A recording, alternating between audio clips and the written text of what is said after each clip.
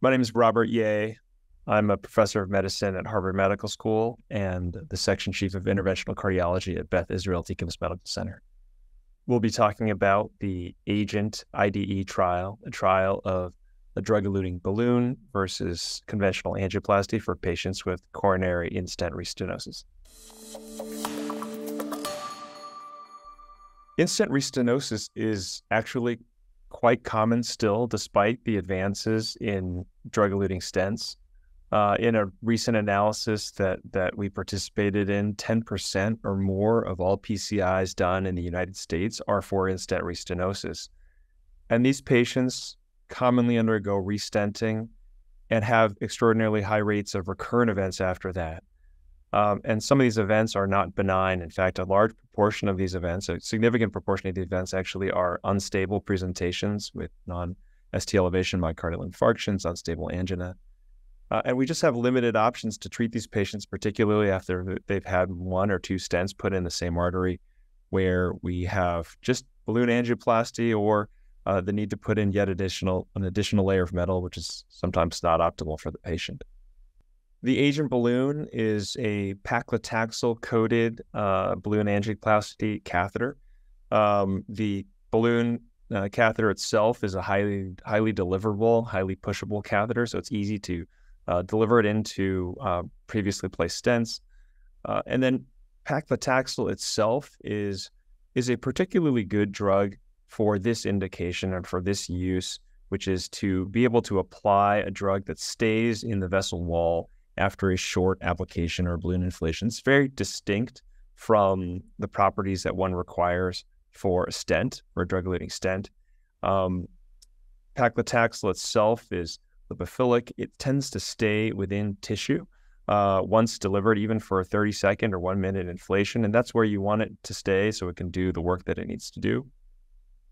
And in this particular formulation of paclitaxel in the agent balloon, it is sort of a, a, for lack of a better word, a sticky crystalline structure that tends to embed quite well in a low dose, low dose formulation into the vessel wall.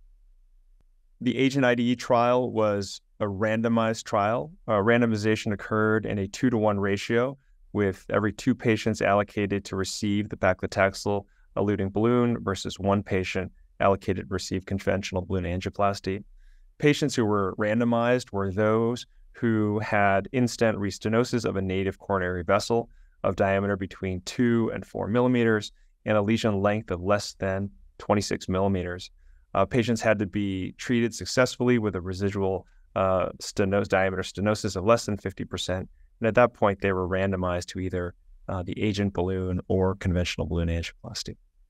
Well, the primary outcomes uh, was uh, the composite endpoint of target lesion failure at one year uh, which was the combination of ischemia-driven uh, target vessel uh, revascularization, uh, excuse me, ischemia-driven target lesion revascularization, target vessel myocardial infarction, or cardiac death. And uh, in the primary analysis, patients treated with the the the paclitaxel coated balloon, agent paclitaxel balloon, had a, uh, a, a, reduction in uh, the primary endpoint by 10 percentage points. Uh, so the POBA arm or the conventional angioplasty arm had an event rate at one year of 28.7% uh, compared to 17.9% uh, receiving the agent drug coated balloon. It was a highly significant p value of 0.0063. In addition, looking at the component endpoints, the ischemia driven target lesion revascularization was reduced by about 50% with treatment with the paclitaxel balloon. Uh, in addition, target vessel myocardial infarction was also reduced by 50%. And finally, stent thrombosis occurred in no patients receiving the paclitaxel eluting balloon, but it occurred in six patients uh, receiving conventional balloon angioplasty.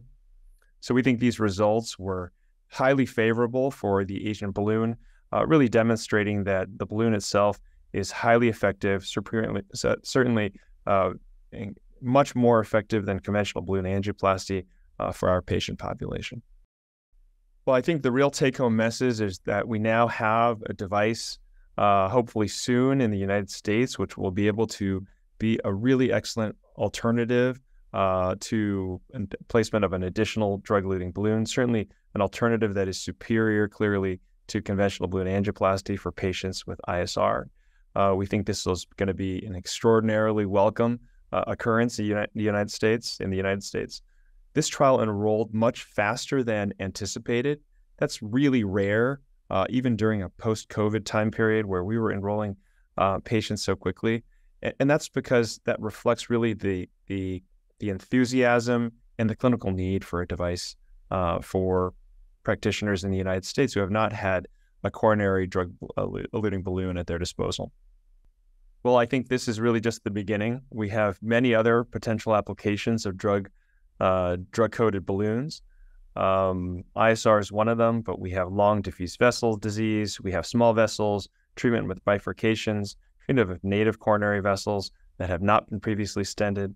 So I think that all of these questions still remain for the application of drug-eluting balloons in the coronary circulation. Of course, we want to dive more deeply into the analysis of the subgroup populations within the agent trial itself. And there's actually an additional uh, set of patients who are enrolled. So this total sample size ultimately of the trial will be 600 patients. And I'm just reporting now the first 480, which were the original design uh, of the trial. This was uh, a, a, joint effort in partnership with Boston Scientific, uh, my study co-chair, Dr. Ajay Kirtane, and an, an, incredibly talented and diverse steering committee. So um, I think a lot of people's hard work went into pulling off a very successful trial, and, and, and everybody is quite proud of the work.